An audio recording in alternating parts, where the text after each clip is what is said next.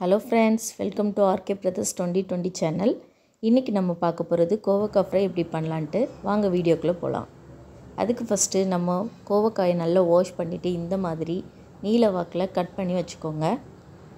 அதுக்கப்புறம் ஒரு பவுல் எடுத்துகிட்டு அதில் ஒரு டீஸ்பூன் இஞ்சி பூண்டு விழுது கால் டீஸ்பூன் மஞ்சள் தூள் ஒரு டீஸ்பூன் காஷ்மீர் மிளகாய் தூள் ஒன்றரை டீஸ்பூன் மல்லித்தூள்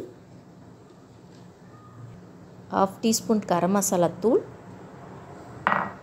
அப்புறம் கால் டீஸ்பூன் மிளகுத்தூள் டூ டீஸ்பூன் கார்ன்ஃப்ளவர் மாவு. அப்புறம் தேவையான அளவு உப்பு. இதெல்லாம் சேர்த்துக்கோங்க. சேர்த்துட்டு நம்ம கட் பண்ணி வச்சுருக்கிற கோவக்காயை இதில் நல்லா போட்டு கிளறி வச்சுக்கோங்க. ஒரு ஆஃப் அன் ஹவர் இது ஊறட்டும். ஊறினதுக்கப்புறம் ஒரு பேனில் எண்ணெய் எடுத்துக்கோங்க. எண்ணெய் எடுத்துகிட்டு நம்ம ஊற வச்சுருக்கிற அந்த கோவக்காயை இதில் மிக்ஸ் பண்ணிக்கோங்க.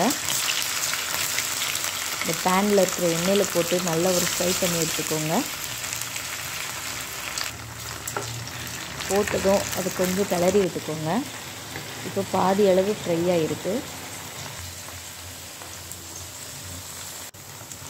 இப்போ நல்லாவே ஃப்ரை ஆயிடுச்சு